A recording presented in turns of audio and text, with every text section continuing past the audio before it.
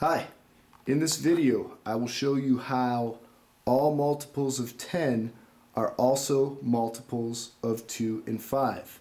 I will be using the Math in Color posters that you can get from mathincolor.com to do this. As you can see, yellow boxes or yellow highlights have identified all the multiples of 10. As I roll up to the multiples of 5, you can see how all of them have been circled uh, that are also multiples of 10.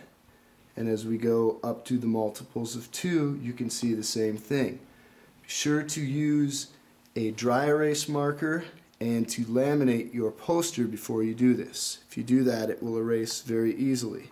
As we go over to the 1 to 100 chart, you can see with the color bars that all multiples of 10 are also multiples of 2 and 5.